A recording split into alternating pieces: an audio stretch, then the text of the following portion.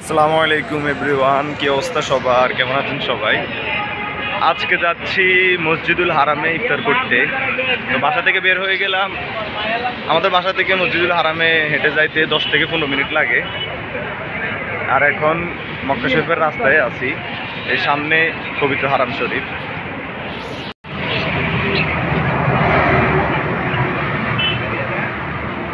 এই রাস্তাটায় সব সময় মানুষের আনাগোনা থাকে, যেহেতু সামনেই পবিত্র হারাম শরীফ।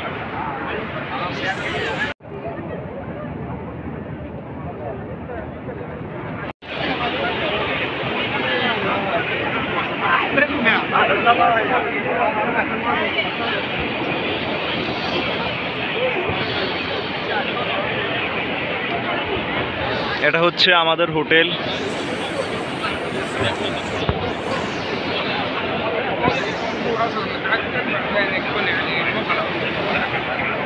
এদিক দিয়ে হারাম শরীফে প্রবেশ করে। পবিত্র হারাম শরীফে চলে আসছি, আর এখান দিয়ে হারাম শরীফে প্রবেশ করে।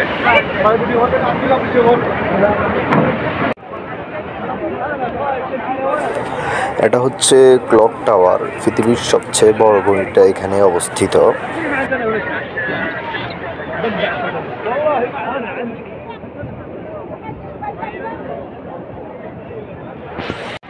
আর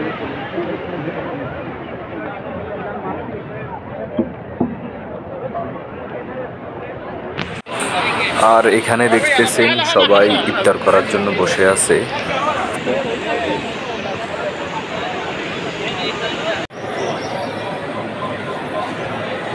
আমি এখন অবস্থান করছি পবিত্র হেরাম শরীফের তৃতীয় তলায়, আর আজকে এখানে ইফতার করব।